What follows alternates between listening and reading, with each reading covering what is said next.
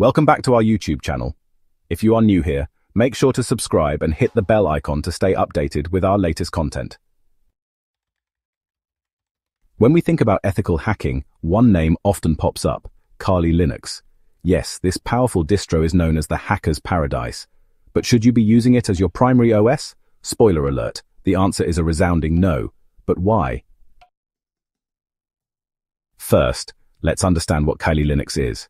It's an open-source Linux distribution specifically designed for advanced penetration testing and security auditing. It comes packed with hundreds of tools for various information security tests, including penetration testing, security research, computer forensics, and reverse engineering. Sounds great, right? So why shouldn't you use it as your main OS? Let's dive into the reasons. Why you shouldn't use Kali Linux as your main OS. First, it runs as root by default. Running an operating system as root means giving complete control to all software on your system. This can be catastrophic if you accidentally run malicious software. Most regular Linux distributions use a non-root user for safety, but Kali doesn't, making it risky for daily use. Second, it lacks convenience features. Unlike other Linux distributions, Kali Linux is designed for professional use in testing environments. It doesn't prioritize user-friendliness or convenience. So if you're looking for a smooth, everyday experience, Kali may not be the best choice. By the way, if you like Kali Linux, make sure to like this video. Do you need to browse the internet, watch Netflix, or edit documents? Well, Kali Linux isn't built for that. It's designed for security testing and auditing, nothing more. Trying to use it for everyday tasks can lead to frustration and inefficiencies. Using Kali Linux as your main OS might lead to unnecessary suspicion. If you're an ethical hacker working on client-side projects, using Kali as your primary system could set off alarms and even get you blocked.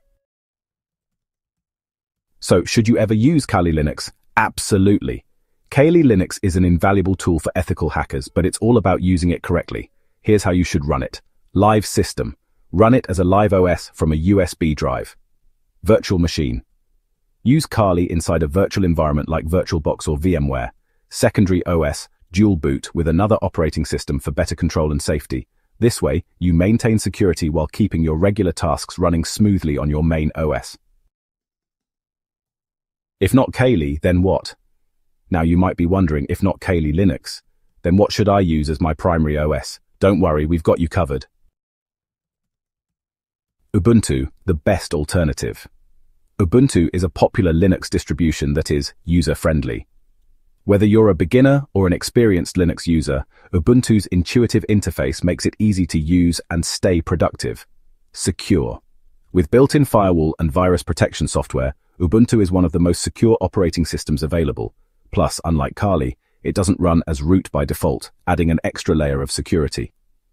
Community-supported Ubuntu has a large active community, whether you're troubleshooting an issue or trying to learn more, help is always available.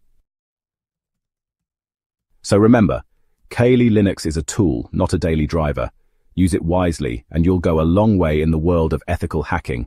If you found this video helpful, don't forget to like, share, and subscribe for more tech insights. See you in the next one.